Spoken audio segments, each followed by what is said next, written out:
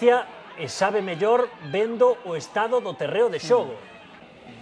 Porque, bueno, a, acostumados a adestrar noutro Vaya tipo de condicións... Pataqueira de campo. Atoparte con este campo sempre é complicado.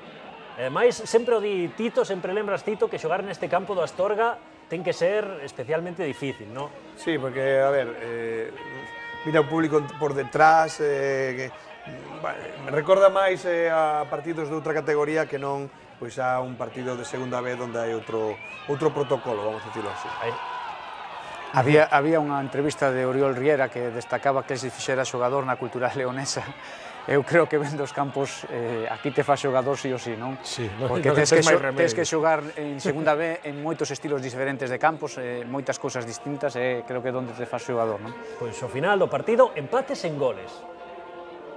Hay que ir adaptándose a, a los terrenos de juego y a, y a, las adversidades que se puedan presentar y bueno, al final competimos y, y pudimos sacar un punto.